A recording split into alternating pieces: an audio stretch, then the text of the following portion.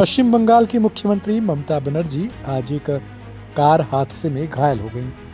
बता दें कि यह हादसा उस वक्त हुआ जब वह वर्तमान से एक बैठक में शामिल होकर वापस लौट रही थी।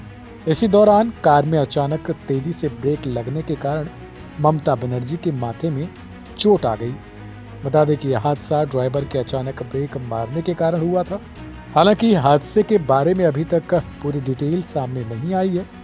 शुरुआती जानकारी के मुताबिक, मुख्यमंत्री ममता की कार तेज रफ्तार में आ रही थी। इसी दौरान उस रास्ते में एक ऊँची जगह आ गई। इसके चलते ड्राइवर ने तेज़ी से ब्रेक लगाया और अचानक ब्रेक लगने से कार में बैठे लोग असंतुलित हो गए, जिसके चलते ममता बनर्जी के माथे पर चोट लग गई। वहीं दूसरी तरफ़ सोशल मीडिया पर एक और जानकारी आई है कि ममता बनर्जी के काफिले में अचानक से एक दूसरी कार घुस गई थी जिसके कारण यह हादसा हुआ।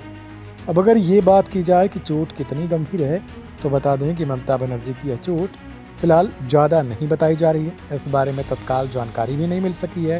हालाँकि बताया जा रहा है कि माथे पर हल्की चोट लगी है।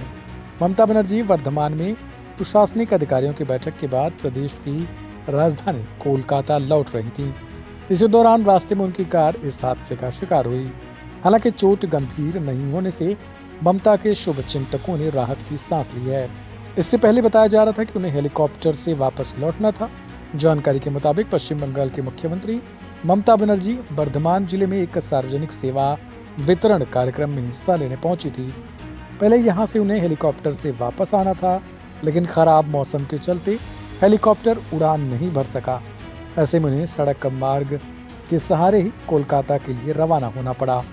इसी दौरान उनकी कार हादसे का शिकार हुई और ममता बनर्जी चोटिल हो गई। इसके बाद से ये खबर तेज़ी से वायरल हो गई और हर कोई ममता बनर्जी के जल्द ही स्वस्थ होने की कामना कर रहा है।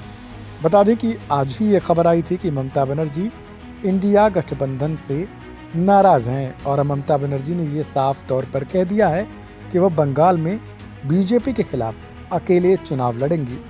ममता ने यह साफ़ कर दिया कि अब उनका आईएनडीआई से कोई ऐसा नाता नहीं है पश्चिम बंगाल में या फिर गठबंधन का कोई नाता नहीं है।